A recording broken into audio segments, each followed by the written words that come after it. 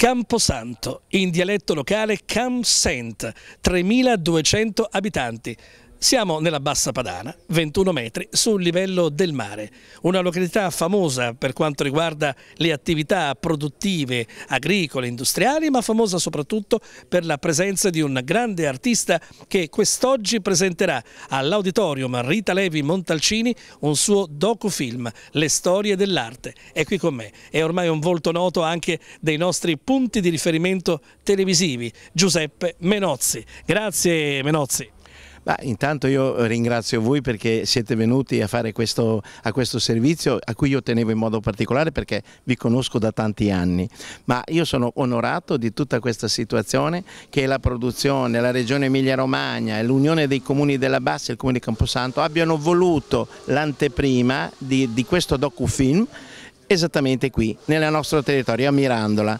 Quindi è un onore per me poterlo fare e poter portare un messaggio, secondo me, di, mettiamolo tra parentesi, un po' di cultura per quello che riguarda il mio settore, anche qui nelle nostre zone. Beh, sicuramente le storie dell'arte, questo è il nome del docufilm, sarà soltanto, non soltanto un docufilm autocelebrativo, ma sarà un'ispezione attenta su come fare l'arte e soprattutto su come far recepire, anche perché è del tutto soggettivo la ricezione dell'arte in maniera eh, di, di, di, emozioni personali a tutti coloro che ne fruiscono. Le storie dell'arte è stato creato da eh, Emanuela Morozzi e da Riccardo Canini e anche Paolo Coviello che presenterà insieme alla stessa Morozzi questo grande happening appuntamento. Ora mi punge vaghezza, come dicono quelli che parlano bene, non noi per carità, caro Menozzi, di farne una domanda. Allora, Camposanto, quando uno diceva il Camposanto pensa a un luogo funebre, invece qui c'è una, eh, non è una leggenda, ma sono dati storici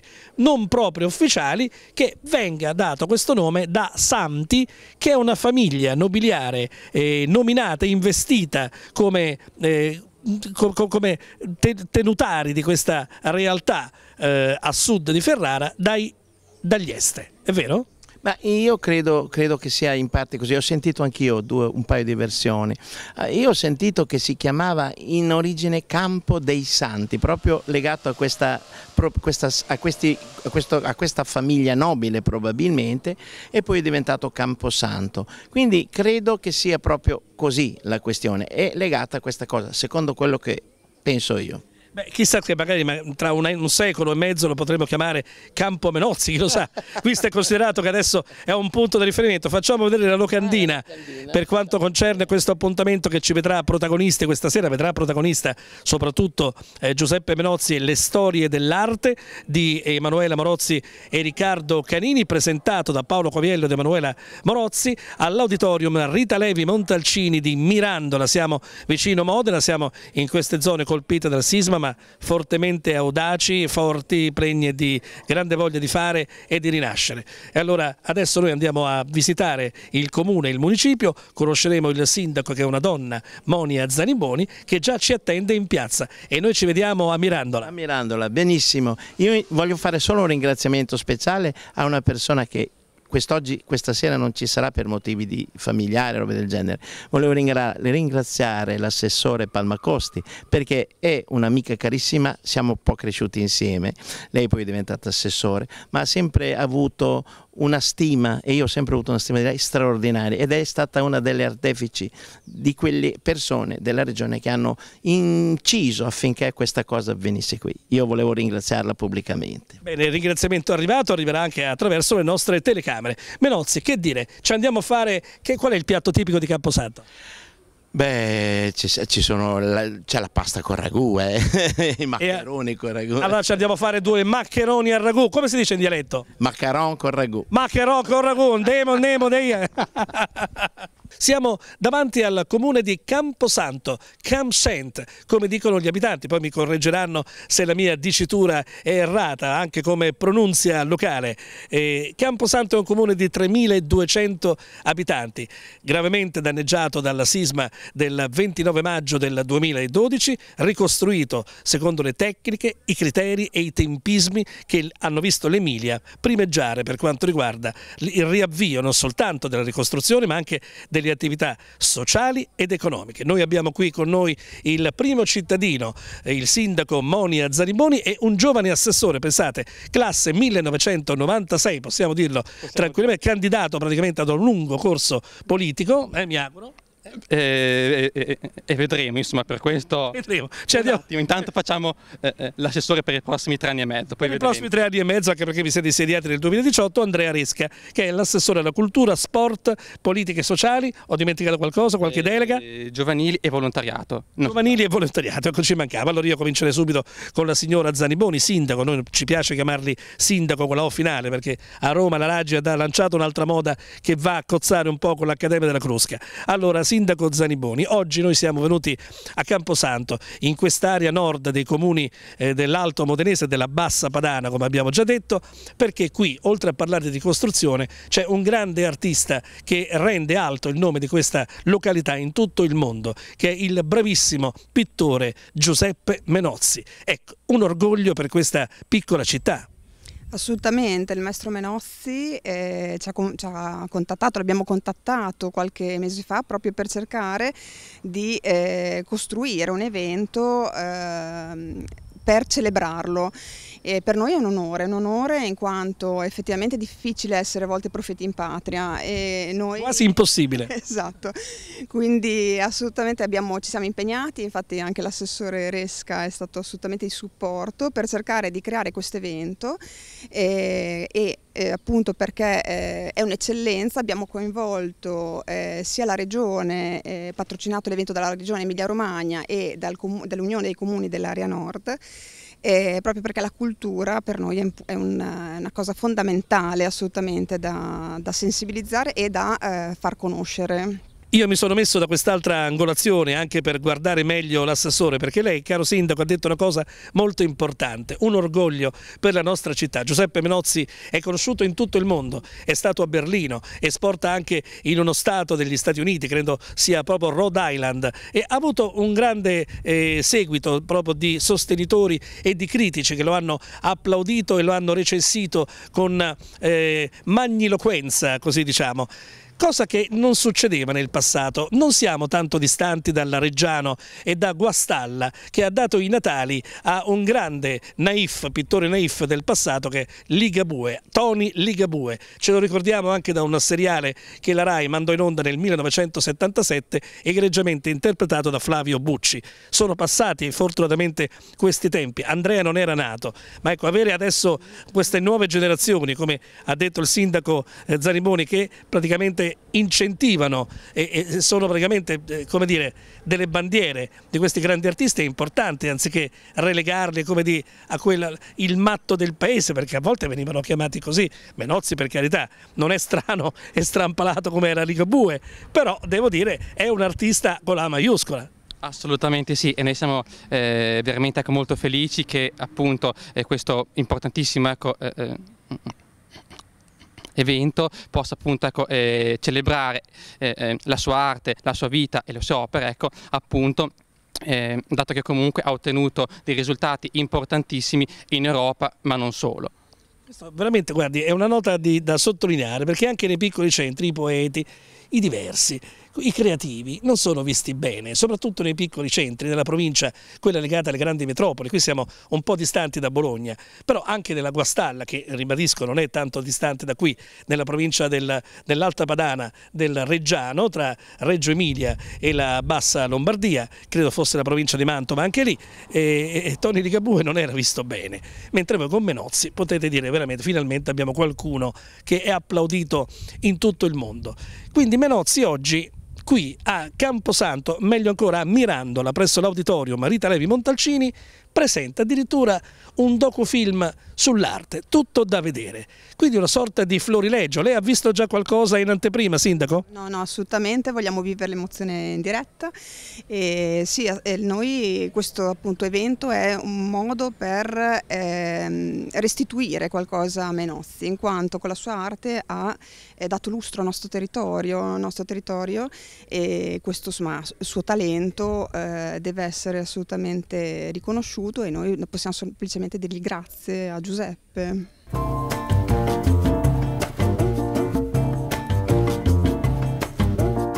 Siamo all'interno dell'auditorium Rita Levi Montalcini di Mirandola nell'area 29 maggio, all'interno dove si eh, svolge questa sorta di vernissage, non è il caso di dirlo per quanto riguarda i docufilm, ma visto e considerato che abbiamo un artista di grande mole, di grande fama mondiale, usiamo quella che è la terminologia pertinente. Giuseppe Menozzi, Giuseppe Menozzi io impazzisco quando vedo i suoi foulard perché mi ricordano certi soul club americani che stanno tra Los Los Angeles e, e il Minnesota dove si suona soul e, e le pareti sono tappezzate con queste locandine. È una cosa particolare che mi diceva viene fatta in zona. Sì, no, beh, questo qui è un prodotto, grazie a Dio lo posso dire perché mi è, mi è, stato dato da Michele Crocitto che cura il merchandising anche mio ma anche dei grandi, dei grandi artisti del passato, quindi Van Gogh e Cézanne, Gauguin, quindi loro fanno queste cose che sono secondo me bellissime e me l'ha dato, secondo me è un bel prodotto. È bellissimo perché se ci avviciniamo vediamo anche che ci sono proprio degli hotel, è fatto con tanti hotel d'Italia, si va, è bellissimo perché peraltro è la cromatura che è una cromatura molto particolare per un grande artista come lei devo dire che calza a pennello e le dà questa sorta di naif, di originalità, peculiarità che la distingue. Allora, oggi verrà presentato questo film documentario, Le storie dell'arte, che è stato fatto a due mani da eh, Riccardo Canini e da eh, la signora Morozzi, Ci abbiamo un'invasione della sorella di Menozzi che chiede gli autografi anche alla sorella, pazzesco. Allora, le storie dell'arte, che cosa sono le storie dell'arte? Allora, intanto io credo cioè io non sono, è stata un'idea della Emanuela Morozzi con la collaborazione di Canini che hanno voluto mettere in piedi, in piedi questa, io credo che sarà è legato proprio alla storia degli artisti importanti, quelli che hanno vissuto tutta la vita nell'arte e che quindi hanno qualcosa da raccontare, perché io ho 52 anni di attività, quindi ho cominciato che ero un bambino, avevo 9 anni, adesso ne ho 63 in più di 50 anni ho vissuto metà del, quasi metà del Novecento con tutti i più grandi artisti del passato che adesso non ci sono più perché io li ho visti e che adesso sono comunque nei musei, che sono comunque quotati tantissimo e che sono storicizzati. Lei ha cominciato quindi alla fine degli anni 60, era un bambino. E quali sono stati gli artisti che l'hanno colpita particolarmente? Quelli erano gli anni dei grandi pittori di via Margutta a Roma. Sì, io ho avuto il piacere di incontrare un po' più grandi del, anni, della seconda metà del Novecento, perché ho frequentato per parecchio tempo la Galleria Mazzoli di Modena, erano gli anni 70, fine degli anni 70, come sapete tutti è stata la galleria che ha fatto partire la Transavanguardia nel 1979. Io frequentavo con Achille Bonito Oliva e Mazzoli hanno fatto partire la Transavanguardia. Io lì ho conosciuto tanti artisti perché la frequentavo, ho conosciuto bene Schifano, ho conosciuto Basquiat, ho conosciuto tanti artisti che erano comunque giovani e che frequentavano la galleria. E lì ha trovato l'ispirazione. Ecco, qui c'è una sorta di pinacoteca del maestro Menozzi, giustamente la serata è dedicata a lei. Quindi lei non ha visto ancora queste storie dell'arte? No. E quindi è una novità anche per lei? Sì, perché... perché molti hanno... pensano che sia una cosa autobiografica, ma non è così. Mm, devo dire che hanno lavorato tanto e la produzione sono tante tante ore di, di, di, di, ripresa per poi estrarre, mm, non so se sono 30 minuti più o meno, un concentrato di tutto quello che è stato un percorso, quindi anche per me è una sorpresa. Penso, considerando la qualità di questi grandi autori registi, che sarà sicuramente una cosa entusiasmante. Ecco. Ce l'auguriamo, ma sicuramente ne siamo convinti anche noi e che ci segue da casa, che ormai la conosce perché ha visto le sue opere, ha visto le sue mostre, lei è esposta un po' in tutto il mondo. Lei è famoso nella Rhode Island anche degli Stati Uniti, eh? Sì, sì, sì, ho fatto manifesta delle manifestazioni anche là perché avevo una galleria di riferimento. Io, come lei sa, ho esposto anche in tanti, in tanti paesi d'Europa, cioè a Londra, a Berlino, a Praga, in tantissime località. A Bruxelles. A Bruxelles, ecco, ci tengo a Bruxelles perché è, è importante. Io nel 2014 ho fatto una grande personale al Parlamento europeo proprio il mese prima della partenza del semestre italiano, quindi ho praticamente dato il là a quello che è stato un semestre del 2014 con gestione italiana. Con gestione tipicamente italiana. Bene, Giuseppe Menozzi, eh, ci sarebbe da parlare tantissimo, ecco, ma le sue tele quanto sono quotate? Dipende, orientativamente. Dai, dipende dai periodi, dipende dai periodi.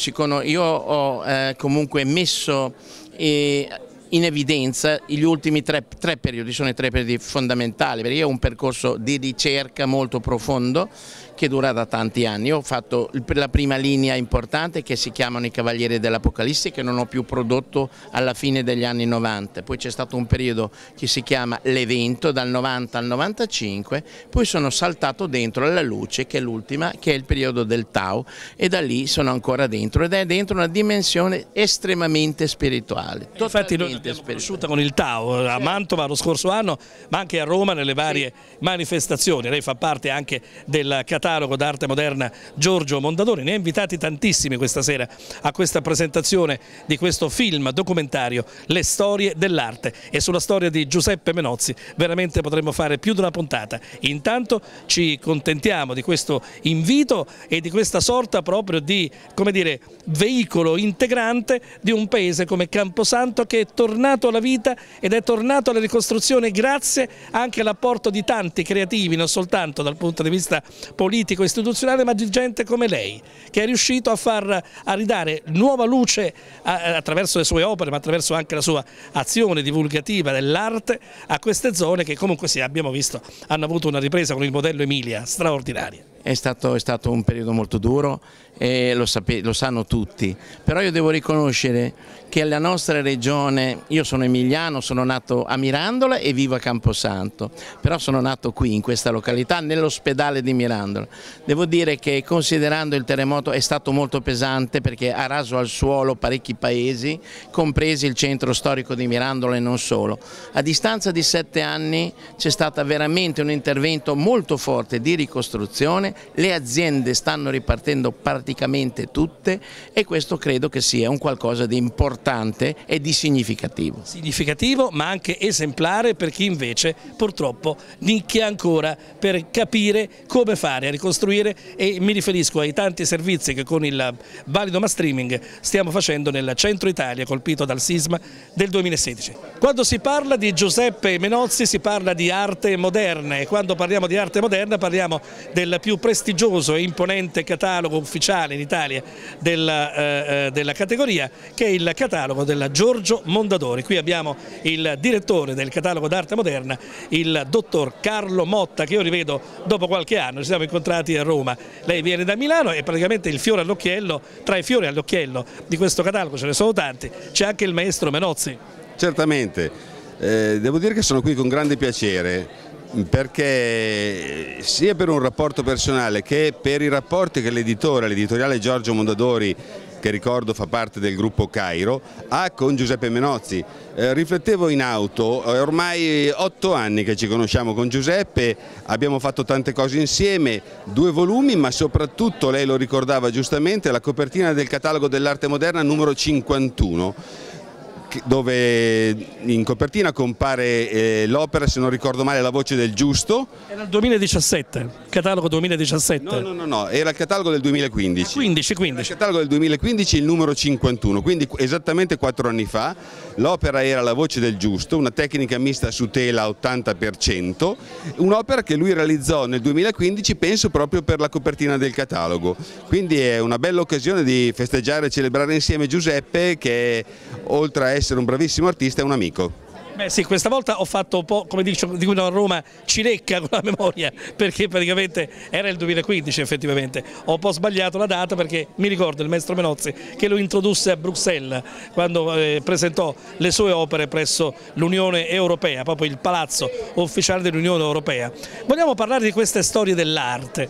C'è questo film documentario su quelle che sono le storie, quali sono le storie che si trovano attraverso l'arte, che si vivono a livello emozionale? Beh. Intanto premetto che non ho visto il documentario e sono proprio qui per vederlo, per vederlo e sono molto curioso. Ho appena incrociato Emanuela Morozzi, una due, dei due registi, molto brava, so che lei è molto brava, so anche che Riccardo Canini, l'altro regista, è pure molto competente e professionale, quindi immagino abbiano fatto un ottimo lavoro e abbiano ricostruito la vicenda artistica e devo dire anche umana di Giuseppe, perché dietro l'artista c'è una persona di grandi qualità. E le storie sono tante, le storie dell'arte sono tante alcune lo ricordiamo anche un po' tristi e maledette, ricordiamo quella di Modigliani, quella di Van Gogh, ma anche tante altre storie importanti e positive e voglio dire che Giuseppe Menozzi è una di queste storie e incarna proprio eh, un modo di interpretare l'arte tutto emiliano che ha portato fortuna a lui perché lui la, la, dire, la interpreta in modo positivo. Diamo un'anteprima se può. Quale sarà la copertina del catalogo d'arte moderna 2020? Non posso dare questa anteprima perché, perché è, dire, è un piccolo segreto che ci teniamo riservato ancora un mesetto perché il catalogo andrà in stampa nei prossimi giorni, proprio ieri abbiamo vistato le cianografiche quindi si tratta proprio di attendere poco. Io per morbosità professionale ci ho provato ma non ci sono riuscito. È legittimo e giusto che lei ci provi come giornalista. Grazie a Carlo Motta, direttore editoriale della Giorgio Mondadori del catalogo di Arte Moderna. Da Modena abbiamo un critico d'arte, Gianfranco Ferlisi. Io sempre, mi sono sempre chiesto, ma i critici d'arte sono mossi da quale spirito? Perché a volte sono fortemente avversati dagli artisti stessi. È uno spirito semplicissimo, mediare fra l'artista che è un mondo complessissimo e che ha degli inneschi della propria creatività estremamente complessi e il pubblico, semplificando razionalizzando, magari provando anche a far capire, ma cosa assai difficile. Molto difficile. Difficilissimo. Io faccio un esempio, no? negli ultimi vent'anni Menozzi ha inserito un elemento nelle sue opere, che è il Tao. Allora questo Tao che cos'è? Che determina un ciclo. Il Tao è un elemento simbolico, un raccordo tra il mondo dell'artista e il pubblico che guardando il Tao e queste opere astratte eh, segniche, materiche guardando il Tao trova una chiave di volta per entrare all'interno del, del mondo dell'artista e capire come per comprendere l'arte ci sia bisogno di far leva sulla spiritualità. D'altra parte che cos'è il Tao? È la ventiduesima lettera dell'alfabeto ebraico e un simbolo, un segno che i francescani adoperano, è un segno ce l'hanno tutti i francescani. Bibbia, è un segno che ci manda Ezechiele e quindi eh, vuol dire sviscerarlo un attimino e fare in modo che questi segni diventino più familiari, che il Tao diventi proprio una chiave di lettura. Il critico fa delle cose semplici in fondo Bene, questo ci fa veramente piacere perché ha dato anche eh, contezza di quella che è l'ultima era di Menozzi, quella dedicata al Tao. Ora, mi passi non è tanto un neologismo, ma può essere proprio una comparazione eh, eh, d'epoca, di era. Possiamo parlare di taoismo menoziano. Me la passi Ferlisi? Ma è una cosa bellissima, no. eh, è una cosa, lei gioca con le parole. Eh, con il mio mestiere quindi. Critico quasi, no? Si potrebbe davvero scherzando parlare di taoismo. Ecco perché altrimenti diventa ancora più complicata e perché no? Perché grazie a questo simbolo, a questa svolta, noi abbiamo avuto un aggiornamento completo della sua pittura che partiva da elementi figurali e poi mano a mano questi elementi figurali che erano anche sorpassati, che avevano senso magari negli anni 70, agli inizi degli anni 80, ecco che giustamente trovano questa uh, fonte di eh, una vena nuova, una vena straordinaria. Sì, possiamo parlare di taoismo. Beh, meno male perché abbiamo coniato, soprattutto mi è stato passato quella che è una mia identificazione varie, dei vari cicli di eh, Giuseppe Menozzi. Grazie Gianfranco Ferlisi. Grazie a lei e grazie a tutto il pubblico. Con noi abbiamo l'editore dell'Enciclopedia dell'Arte Italiana, il dottor Ramella che viene da Milano. Allora, l'arte italiana possiamo fare praticamente dei trattati e star qui mesi e mesi. Qui c'è l'arte di Giuseppe Menozzi. Come viene classificato a livello proprio di impatto con il pubblico? Allora, per quanto riguarda un discorso tecnico io lascio poi la parola al professor Alberto Moioli che è la persona più indicata come direttore editoriale. Io posso solo dire che sono rimasto emozionato quando due anni fa Giuseppe Menozzi è stato nominato l'artista dell'anno dell'Enciclopedia d'Arte Italiana e sono rimasto emozionato quando ho visto le opere che abbiamo pubblicato. Devo dire delle opere di un livello eccezionale, anche perché c'è un po' l'escursus della sua vita, nel senso che si parte dalle prime opere che sono un po' differenti poi dalle ultime che hanno un loro imprinting particolare, che però dimostrano una qualità di un maestro eccezionale veramente, per cui sono veramente orgoglioso di essere presente oggi alla presentazione di questo film che riguarda la sua vita e un po' tutto il suo excursus. Le storie dell'arte in generale, ma nel momento in cui tutto quanto è liquido come la musica, tutto si scarica da internet, ecco un'enciclopedia, come me la ricordo io quella con le pagine, che profumavano, oggi vende ancora, rende? C'ha mercato? Allora dipende da cosa uno produce. Noi cerchiamo di fare una cosa di un certo livello, poi chiaramente non possiamo essere noi a dire se è di qualità o meno, però possiamo dire che dei musei internazionali ci hanno richiesto i volumi a pagamento. Credo che non esistano altri editori che abbiano avuto questa fortuna, sto parlando di musei svizzeri e musei tedeschi sto parlando di nazioni che non amano particolarmente gli italiani, per cui vuol dire che evidentemente hanno sfogliato e quel profumo che dice lei e quella carta di qualità evidentemente l'hanno apprezzata, per cui noi diciamo solo questo che è un dato di fatto. Poi, l'ardua sentenza ai posteri. Dall'editore siamo passati al direttore editoriale dell'enciclopedia dell'arte italiana. Ecco, l'editore ci ha parlato di una cosa molto importante, i musei svizzeri e tedeschi sono i principali eh, richiedenti e acquirenti dei vostri prodotti. Sì, allora l'enciclopedia arte italiana si è evoluta nel tempo, adesso è diventata, l'avrà detto sicuramente il dottor Ramella, eh, bilingue, quindi la parte inglese ci ha consentito di consegnarla ai più grandi eh, musei del mondo, perché la Tate Gallery ad esempio ce l'ha messa addirittura nel bookshop. Eh, e poi sì, effettivamente la Svizzera e la Germania addirittura si lamenta quando siamo in ritardo a consegnarli, nel senso che hanno davvero piacere ed è un vero grande onore anche perché sono all'interno all'interno di musei, quello di Zurigo soprattutto è un museo meraviglioso e molto importante, quindi è assolutamente un onore per noi e anche per gli artisti. Il discorso è nato con l'editore, visto e considerato che oggi tutto si scarica attraverso internet, attraverso telefonini, tablet, neanche i computer, oggi è un approccio diretto, immediato, però ha cambiato l'approccio indubbiamente quindi come viene vissuta l'arte che si fotografa attraverso, magari si scarica come dicono oggi coloro che usano il web in maniera certosina e quasi quotidiana perché è entrata nell'uso e nel consumo di tutti quanti noi tutti i giorni.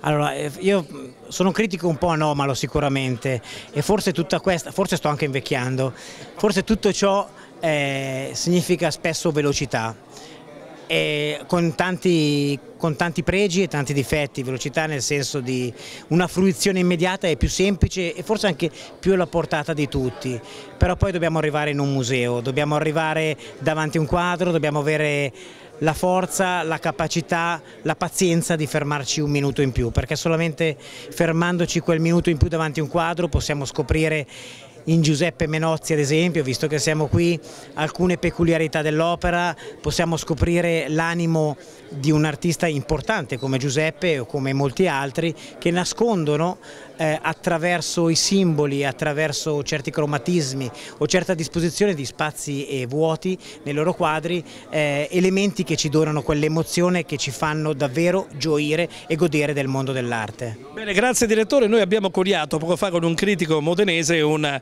una sorta di neologismo ma che è praticamente una corrente individuale di Menozzi, il taoismo menoziano che è praticamente la parte spirituale che da vent'anni Menozzi sta esternando nelle sue tele. Io so che lei però ha una passione particolare, quella per il nostro operatore. Eh, io sono io faccio un lavoro bellissimo perché io parlo d'arte tutti i giorni, racconto gli artisti e mi capita a volte di incontrare davvero persone speciali che sono giornalisti come lei, sono operatori cameraman come Alessandro che ha appena compiuto gli anni. E quindi io davvero credo che come critico e come amante dell'arte eh, sono portato, comunque dovremmo essere un po' tutti portati ad avere quella sensibilità in più e quindi ad appassionarci non solo alle cose ma soprattutto alle persone e agli animi buoni come voi voi e ritorno ancora a Menozzi che è soprattutto un uomo, un uomo buono. Bene, grazie, grazie al nostro amico Alberto Moioli che è il direttore editoriale dell'Enciclopedia d'Arte Moderna. Grazie maestro. C'è questo incontro dovuto tra l'operatore e Moioli che io conosco per la prima volta ma non mancheranno altre occasioni per venirla a trovare magari a Milano. Grazie. Grazie a lei, grazie. grazie. Auditorium dedicato a Rita Levi Montalcini, siamo a Mirandola che un po' è stato il fulcro, come abbiamo detto in apertura, del sisma, ma l'abbiamo detto praticamente facendo vedere tutte quante le realtà che sono state ricostruite, quindi siamo andati un po' con la storia indietro nei tempi. Mirandola è un po', come dire, eh, maestro Menozzi, il simbolo di questa quest'area che si chiama Bassa Padana. Sì, è la Bassa Padana, è chiamata così e qui c'è l'unione dei comuni della Bassa che sono nove e che comunque sono stati tutti concordi nel promuovere questa iniziativa di presentare questo documentario sulla mia vita qui.